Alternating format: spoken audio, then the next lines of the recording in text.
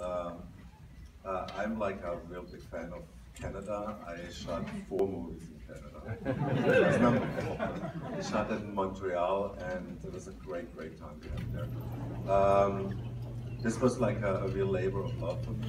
You know, I really, really um, enjoyed making a, a, movie, and I want to now introduce you to uh, some of my actors. You know, let's uh, uh, no, no, let's get first like the writer on Jon Robin Baitz.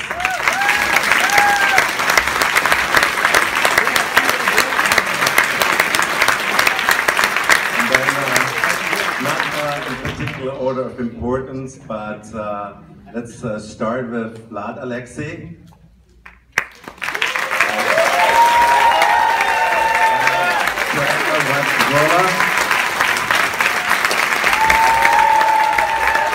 Jonny Beauchamp.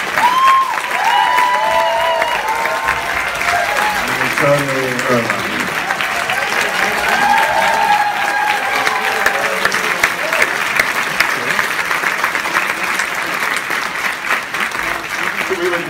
to hear your questions. If you've got a question for Roland, uh, for John, or for the cast, please raise your hand. Balcony two, uh, you're all welcome. Yes, go ahead. Why is there such a big fuss about this film? I loved it. Repeat the question, why is there such a big fuss uh, about yeah. this film? And you loved it. Yeah, I think we were like all surprised about that. You know, this is the first time actually a trailer got boycotted. uh, and, and we actually very innocently said, let's not give everything away because I hate trailers where you like kind of see the whole movie and we just wanted to give a taste of the movie. And uh, here we go. So uh, we're like kind of, you know, like, uh, uh you know, I think our movie speaks for itself and that's that.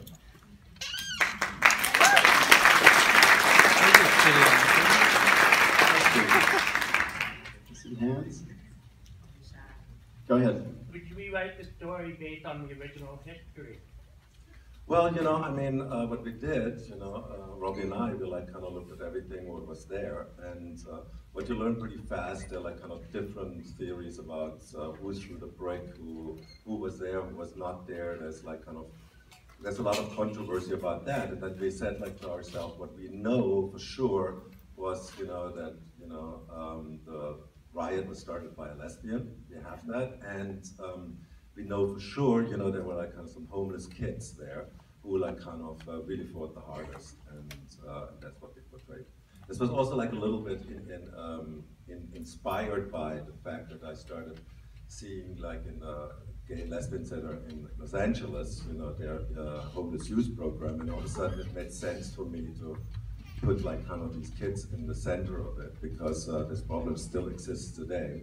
That uh, how many, you know, like kind of 40% uh, of uh, all homeless youth is uh, LGBT. So that's like just a fact which you cannot ignore. ignore. Yes. Um, first, I just want to acknowledge the cast. I think you did a phenomenal job.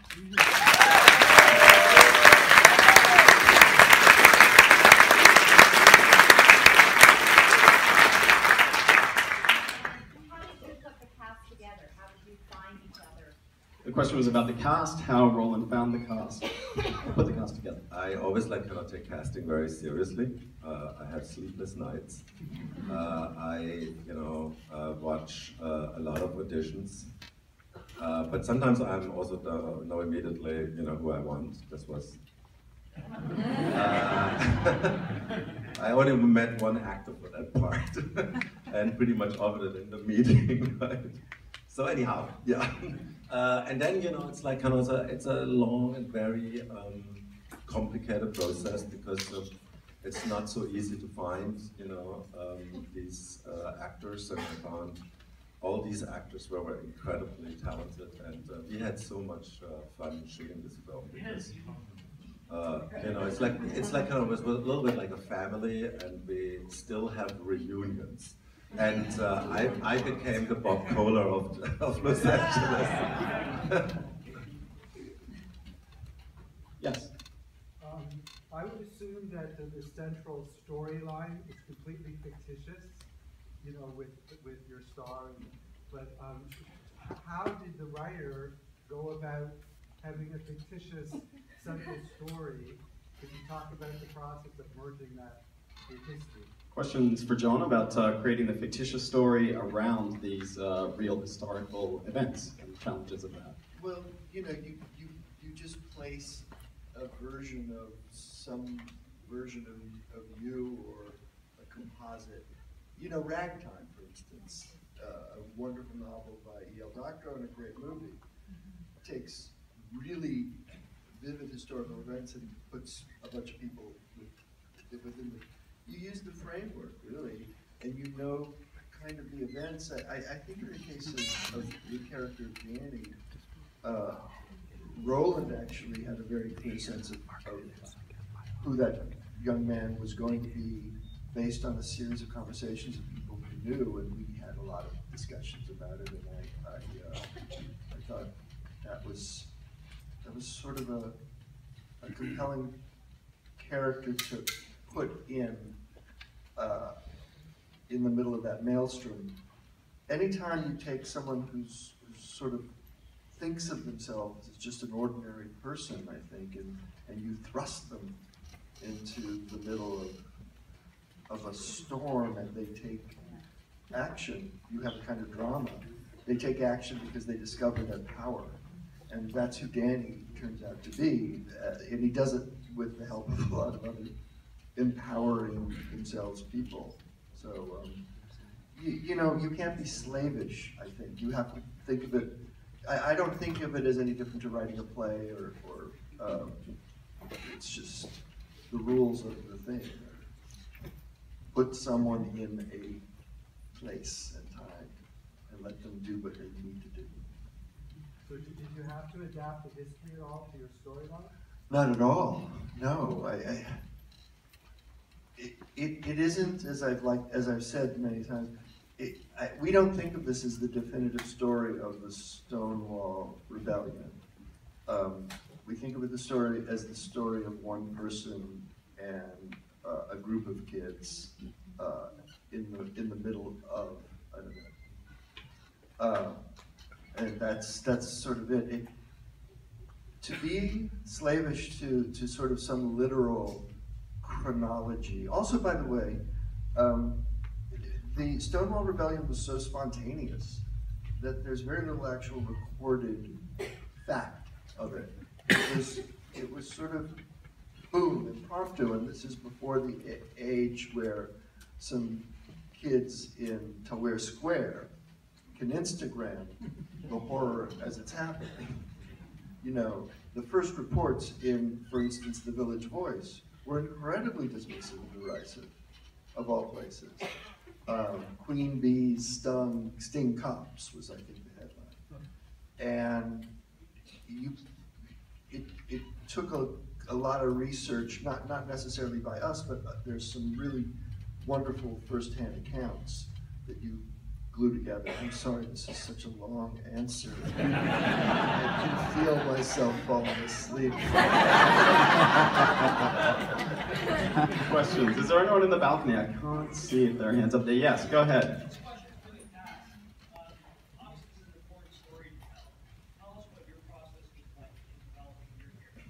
Tell us what your your process was like in developing your characters. Okay, The, the uh, uh, I guess I'll speak, I'll speak for me personally. Um, but I, I've been familiar with the Stonewall Rebellion and the riots. Um, I was a gender and sexuality studies minor in, in college, um, so I was kind of very privy to the world. But um, upon reading it, I, there were a few people that really inspired me. Um, Sylvia Rivera was one of them that I just was really taken with, and I had always kind of wanted to find a way to channel her in an artistic medium. I just felt like a lot of people didn't know enough about her. I'm also really tickled that like now a lot of people know a lot about her and everyone wants to talk about her, which is cool. Um, and I actually used a lot of music um, to kind of get into like the realm of things. So I started with the Stonewall Jukebox, and then I kind of gravitated towards uh, the Marvelettes, specifically the Shangri-Las, um, the Supremes for Finesse, and uh, you know the Chiffons, and those. And that's like what the boys know. We all basically live together um, in like an apartment, and so we just had like th- that kind of music playing all the time, and we were just always together. Like we ate together, we like slept in the same quarters. Really, like we worked together. It was really kind of like that. So I think that's why we were everything's so tight knit for us. Um, yeah, just like Johnny, like I did some research uh, before even knowing about uh, the movie, so I was I had a little knowledge about that, and then we I personally got to meet some of the veterans uh, like Martin Boyce and Danny Danny McGarvin who uh, passed away last year, and um, just hearing their story, their account, and them telling us that it was a group effort. You know, it wasn't just one group that um, participated in it. It was, you know, lesbian, gays, trans, straight people, black people. It was really a group effort, and that's what we try to show in, in the movie. But honestly, I think we all like we all helped each other in this casting process. Like we all helped each other, and we, you know, kind of feed off um, each other's energy and because we were very close, we had a lot of dance parties, uh, crazy dance parties. Um, it was great, you know. We got to know each other and appreciate each other, appreciate each other's um, improv moments uh, and our energies.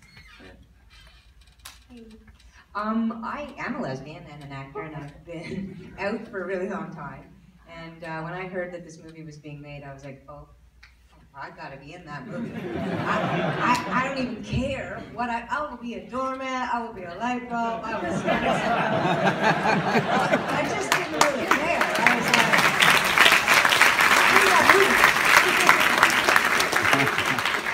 like, well, I was a light bulb. yeah, and it was. It was. I was red. Yeah. yeah. Um, but but I think for me it was uh, on on a lot of levels. It was an incredibly emotional and uh, important, uh, empowering experience because very rarely do lesbians and gay and transgender people get to be in Hollywood movies or, or many movies for that matter. And I, I think that this was a moment in time in history, and I think Roland Emmerich is um, brilliant for bringing it to the forefront because a lot of people actually had no idea what the Stonewall riots were about. A lot of people in our own community don't know about the Stonewall riots. And whether or not it's historical, dramatic, or you know has a lot of lesbians, a little lesbian, a lot of black people, a lot of trans, it's an awesome film, and I feel like it's going to be something that propels us into the future to create more programming, more characters that are LGBT, more inclusiveness, and I think it's just it's the tip of the iceberg, and I'm, I'm just really proud to be part of this ensemble.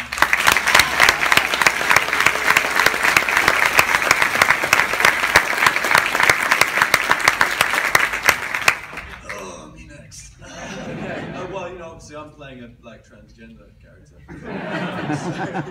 no, you know, I think, um, you know, for me it was, I think there's there's parts of Danny's character we can all relate to. We've all felt um, like we don't belong at some point. We've all had those feelings of rejection. There's a lot of things that I could draw on. Like these guys, they, you know, we did a huge amount of research. Um, I was ashamed at how little I knew about the Stonewall riots. I think before, before you know, we really started delved into it. So um, yeah, a lot of that, and then also I was lucky to meet a few people who I, I knew personally who had uh, similar experiences and were very kind and kind of really opened up to me about stuff. So yeah, but mostly it was just working with these guys, and you know, Roland was uh, an incredibly brave director, and he let us he let us improvise, and it kind of takes you know someone of Roland's caliber to, to be able to let, let you do that. And you know, there were times when me and Johnny would finish our scene and no one would say cut, and we'd go for like five minutes. if, I don't, if I hear cut, I, I will just keep going. so um, I mean that that it was such it was a very immersive process. I mean I hate the word method. I think it's irrelevant, but you know I was working with actors who really were those characters on set every day.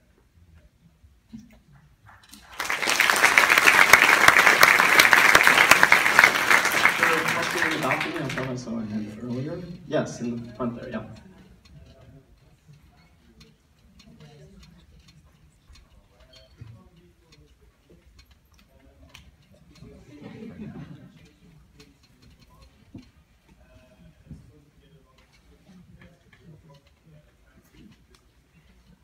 Attracted you to this specific story? Well, it's uh, it's quite simple. I mean, uh, no, it's actually not simple. It's uh, it's super complicated. Um, uh, no, it is um, because uh, I look. I I always uh, I never wanted to become a gay film director because when I was in film school, I was always like saying, you know, I want to be, you know, like like Steven Spielberg or George Lucas or or any one of these uh, American directors. They actually hated me there for that. Uh, I was like kind of this black sheep of uh, the Munich Film School because, um, uh, and then you know, over the years, you know, naturally I made it to Hollywood, which is a whole other story, but. Uh, at one point, you know, I got constantly this question: When do you do a personal film? When do you do? When you do you know, like kind of something uh, different. And uh, I actually did something different. I did like Anonymous, which was um, total labor of love uh, too. And uh, and then you know like uh, two producers, you know like Michael Fossat, who sits down there. what about Stonewall? Why you don't do Stonewall? And I said, yeah, Stonewall should be made. You know, it's a very important story. And then whatever happened there, it was like a series of events. It's always like series of events which gets you interested in something. And then I started, you know, seriously, you know, like kind of considering uh, this film. We, I got with uh, Robbie together. We like kind of talked a lot about what this story could be, and and all of a sudden, you know, I had like a script, and then I was super surprised. Nobody wanted to do it. I mean, nobody. you know, it was like they all said it's a great script, and I said, yeah. And, uh, and it was just a fact, you know, that it's a movie about homeless youth. It's uh, it's really it's really quite interesting. It's like probably um, uh, because like uh, homeless youth, there is no movie star who can play a homeless, right?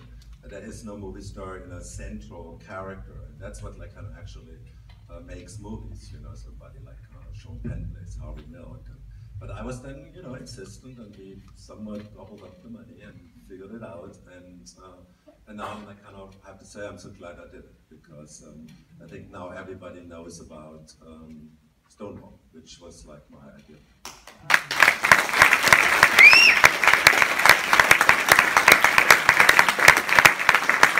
Is there a top two?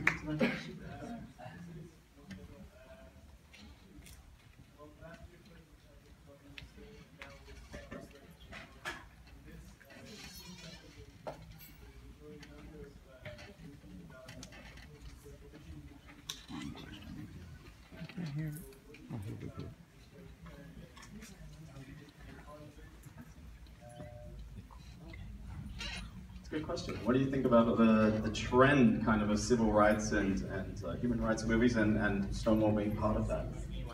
Oh. The general power of movies too. Well, it's like kind of when you ask Hollywood, it's Marvel. That's the power of movies. Uh, let's make another superhero movie. Uh, that's what like kind of really happens in Hollywood right now. It's like very sad.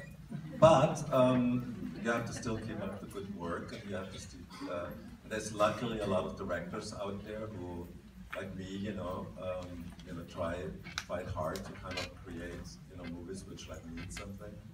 Uh, and uh, sometimes you also have the chance, you know, to do a movie which uh, is like a big movie and means something. I tried this in Day After Tomorrow, where I like took on the uh, you know, like I try to kind of warn people about what we're doing to our Earth and it, basically, it's uh, I think we need more of these films, and it's mainly the audience who has to start showing up because uh, you cannot make movies without having success. And so I'm always like kind of wonder about that because um, when you like talk uh, to people and you know like just friends and stuff, and they, they say, well, there's not really good movies out there, and I said Yes, they are. You know, you just don't see them. You know?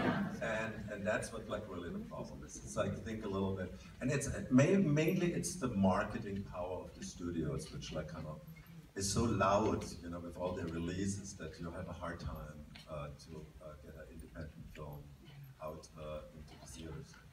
And also, I want to touch base on uh, another issue in the movie that not a lot of people are talking about, but the police brutality you know, it's very present in the movie and something that's going on, that's been going on for years and years. And because of social media these days, uh, now we're talking about it. But even when we are doing the movie, we didn't anticipate that, you know, marriage equality was going to um, be accepted and uh, trans issue would be more, you know, visible on, on screen in, in the media. So we just did it from out of love because we knew that there was a story that needed to be told um, for kids out there that don't know how to deal with their sexuality or you know middle-aged people that are still in the closet and don't know how to tell their family. So it was really a story for them and for our community and for the kids out there to know that it's okay to be who you are. Just love and accept. And fight. And fight. And fight for your rights. You know? And that is a beautiful note, and this is the Q&A. Please